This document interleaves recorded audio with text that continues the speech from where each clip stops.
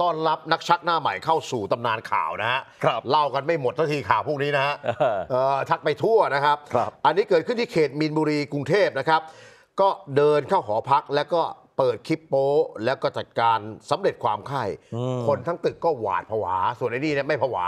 เพลิดเพลินเจริญใจฮะครับ นี่นะครับกล้องวงจรปิดหอพักแห่งหนึ่งในซอยสุวินทวงศ์ 13 แยกแสนอ่า21 แขวงแสนแสบเขตมีนบุรีนะครับ เป็นภาพที่ชายคนเนี้ยขี่รถมอเตอร์ไซค์ซูซูกิสวิฟสีดำคาดแดง เข้ามาจอดหน้าหอพักนะฮะลงจากรถก็เดินสำรวจภายในหอพักนี่ฮะเดินสำรวจเหมือนตำรวจเลยนะฮะมาเดินตรวจตาความสงบเรียบร้อย เออ แต่ไม่ใช่ฮะไล่บิดลูกบิดประตูในห้องพักทีละห้องทีละห้องฮะ โอ้โห และที่สำคัญมันไม่ได้เป็นผู้เข้าพักนะครับ ระหว่างเดินก็เปิดคลิปวิดีโอโป๊ในมือถือเดินไปด้วย เนื่องจากห้องพักชั้นหนึ่งเนี่ยถูกล็อกไว้ทั้งหมดฮะมันก็เลยขึ้นไปชั้น 2 ต่อ และพบว่ามีห้องพักห้องหนึ่งที่ไม่ได้ล็อกประตูไว้ เมื่อเปิดเข้าไปก็สบตากับเจ้าของห้อง ซึ่งเป็นผู้หญิงฮะฝ่ายหญิงตกใจฮะรีบโทรหาแฟนและให้เพื่อนมาช่วยเหลือนะครับ นี่นะฮะคือชั้นหนึ่งหมดแล้วเขาล็อกหมดชั้นสองเหลือห้องเดียวครับเปิดเข้าไปเจอผู้หญิงครับ คุณพีเจ้าของหอพักเนี่ยเปิดเผยว่าไอ้คนนี้ไม่ได้มาก่อเหตุครั้งนี้ครั้งแรก แต่วนเวียนเข้าหอพักในย่านนี้มาแล้วสองสามรอบ และที่หอพักแห่งนี้ก็เคยเข้ามาก่อเหตุเมื่อเดือนกันยายน ปีที่แล้วเออปีปีหกห้าโอ้โหนี่มีอยู่รอดมาไงสองปีแล้วเนี่ยเออนะฮะครั้งนั้นขับกระบะตู้ทึบสีขาวมานะฮะแล้วมาโชว์อนาจารต่อหน้า ผู้เสียหายที่เป็นเด็กอายุแค่